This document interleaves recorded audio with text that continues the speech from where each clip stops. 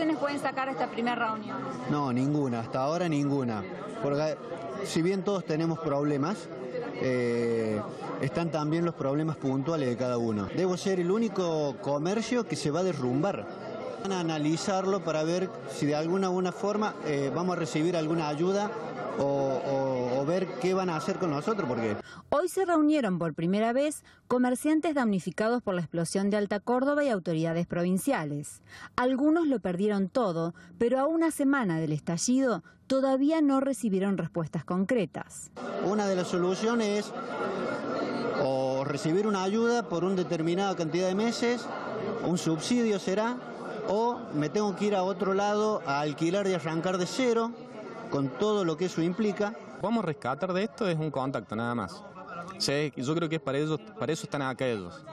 O sea, presentar inquietud de los vecinos, no, puedo- no se puede presentar nada acá porque cada uno tiene un problema particular. Yo creo que esto es algo que no es normal, todo lo que está pasando. Yo creo que dar una solución inmediata, si se te rompe un vidrio, te lo pueden dar. De ahí en más, eh, hay un, un daño que no es reparable ya, inmediatamente. O sea, esto hay que esperar.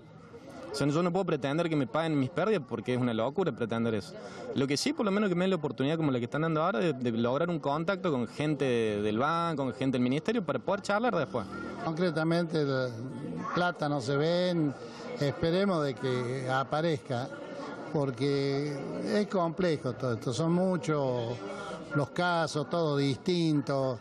Eh, La pérdida nuestra es, es muy grande. Dice que la municipalidad van a mandar este, eh, con- van a contratar mano de obra y la provincia va a mandar los materiales. Vamos a ver, es una promesa media que nos han hecho. Si bien las reuniones continuarán, las autoridades no supieron explicar qué beneficios se les dará a los damnificados. Sí se comprometieron, en cambio, a gestionar que se flexibilice el vallado policial para que haya movimiento y se concreten algunas ventas. Ellos mismos han pedido que cada caso sea visto particularmente para que puedan manifestar su problemática y en, en consecuencia tener una respuesta a la medida.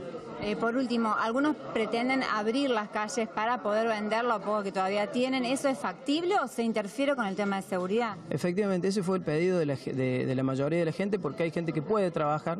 Nosotros estamos tratando de hablar con la gente de la policía para ver cuál es el impedimento o, o si hay una posibilidad de que el vallado se extienda a la puerta de, la- de los locales o de las casas que tienen que cuidar y que le permitan a la gente seguir trabajando.